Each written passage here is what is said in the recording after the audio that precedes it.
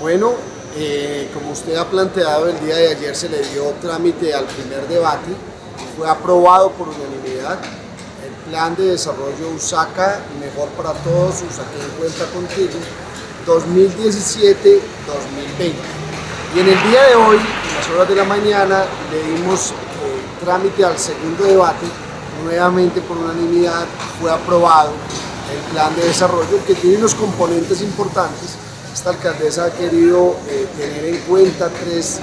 proyectos de gran impacto. Uno tiene que ver con las familias en zonas de mitigación, donde esperamos eh, conceder unas casas por parte de la administración, en trabajo de la alcaldía que ha sido muy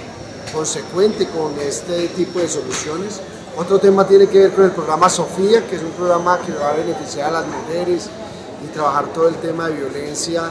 para beneficiarlas a ellas y que sean cubiertas por este plan de seguridad. También hemos eh, trabajado en el día de hoy proyectos que tienen que ver con el tema del medio ambiente, la siembra y el mantenimiento de mil árboles en la localidad para esas personas que de una u otra forma dejan los territorios ilegales para la comunidad poder eh, tener un trabajo importante en el medio ambiente en esos territorios con la siembra de árboles y el cuidado durante los próximos cuatro años. Bueno, los medios de comunicación quedaron eh, porque pues, nosotros que creemos que los medios de comunicación deben de ser tenidos en cuenta de forma transversal en el plan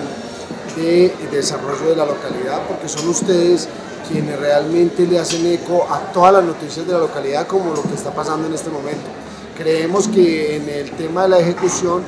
va a tener la alcaldesa en cuenta los medios de comunicación para que en el plan de desarrollo tengan un papel importante para llegar a las comunidades con la información. La nueva sede de la JAL es una prioridad de la alcaldesa local. Como ustedes saben, los ediles y la alcaldía no cuenta hoy con una infraestructura importante, por lo cual la alcaldesa en este